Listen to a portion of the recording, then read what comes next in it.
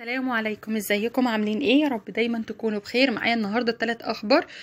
للأسف تدهور حالة الفنان سيد رجب بعد إصابته بكورونا ونتيجة المسحة الأخيرة. وكمان معايا أول ظهور ليسرى بعد شفائها من كورونا وإيه ردها على الأحداث اللي حصلت.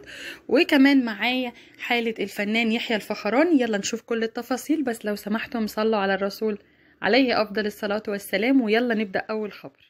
ما نبدأ أول خبر حابة أشكركم جدا على دعمكم. الفنان سيد رجب كلنا عارفين إن هو اتصاب بكورونا وكان الحالة بتاعته مستقرة وكان بيخضع للعزل المنزلي في البيت مفيش أي مشكلة. ولكن خلال الساعات القليلة الماضية تدهورت حالته الصحية فاضطر ينتقل للمستشفى. آه بيعاني طبعا من آه مشاكل في التنفس واتحط على جهاز تنفس صناعي بعدها واتعمل ليه كمان مسحة ولكن للأسف نتيجتها برضو طلعت إيجابية. هو خضع ليها من ثلاث أيام.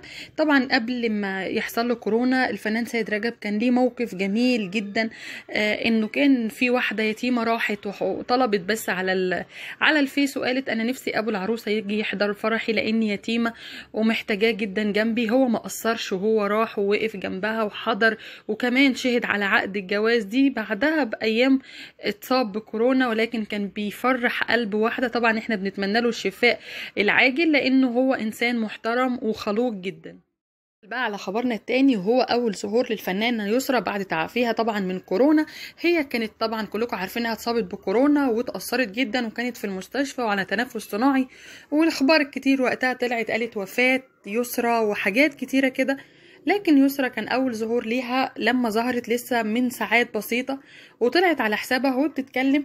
طبعا شكرت كل الناس اللي دعت لها وقالت كمان كذبت الخبر إن هي لما طلع شائعة وهي تعبانة وقالوا إن هي هتعتزل الفن والتمثيل والحمد لله وهتتحجب وكلام كتير جدا طلع في المقولة دي.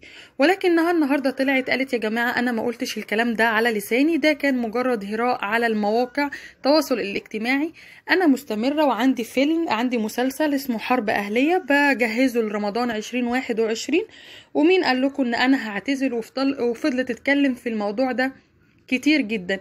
أكنهم ما بيفتكروش ربنا ولا بيعرفوا ربنا إلا ساعة التعب. بيقولوا يعني لو إحنا متنا يبقى إحنا عملنا حاجة كويسة إن أنا قلت إن أنا هتحجب أو هعتزل التمثيل. لو أنا بقيت كويسة ورجعت خلاص أنا بقى مستمرة في اللي أنا فيه مفيش حجاب ولا في أي شغل من الكلام ده أديني بمثل والدنيا وقت ما ترسي يلا ماشيين معاها وخلاص.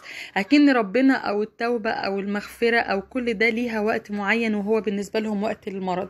كمان قالت كورونا آه أثرت على نفسيتي وأنا كمان نفسيتي وحشة أكتر من وقت وحيد حامد من وقت وفاة الفنان وحيد حامد وجا بعديه الفنان هادي الجيار وجا بعديه طبعا الفنان عزت العليلي فهي قالتهم كلهم وقالت أصدقائنا كلهم بيروحوا مننا واحدة واحدة. ولكن كل واحد ليه عمر طبعا أنا مش هقدر أقول غير لكل أجل كتاب اللي ربنا حابب يهديه ربنا يحط له تقوى في قلبي قلبه ويهديه. ندخل بقى معانا على الخبر الثالث قبل ما نكمل أخبارنا لو سمحتوا ما تنسوش تدعموني بلايك واشتراك من فضلكم. الفنان يحيى الفخراني طبعا هو من مواليد 7 إبريل 1945 عنده 75 سنة.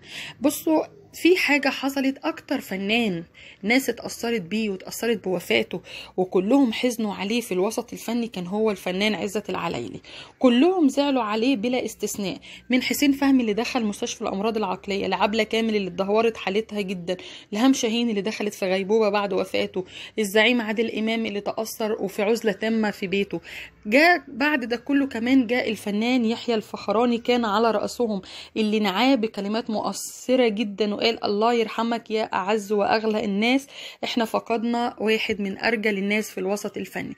الفنان يحيى الفخراني زعل جدا وتأثر وحالته اتدهورت جدا بعد وفاة الفنان عزت العلايلي وفي أشاعات قالت إن هو عنده كورونا وهو ما عندوش الكورونا لكن هو بحكم السن وبحكم الصداقة والعشرة اللي كانت بينهم يمكن حس إن الدور عليه يمكن حس إن الموت بيجي في لحظة لأن الناس ديت مش تبقى ماشية في الدنيا عايشة وخلاص.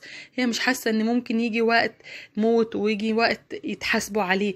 كلهم بجد هم وسط بالنسبة لهم هو عيشة الرفاهية اللي بيبقوا عايشينها محسساهم إن مش في آخرة مش في طبعا أنا مش هوعظ حد عشان محدش ينزل ينتقدني ولا ولا أنا بتكلم في الدين إن أنا أفضل منهم. كل واحد له ما له وعليه من ما عليه. طبعا ربنا يرحمنا برحمته الواسعة وبشكركم جدا متابعين الكرام. شكرا. سلام عليكم.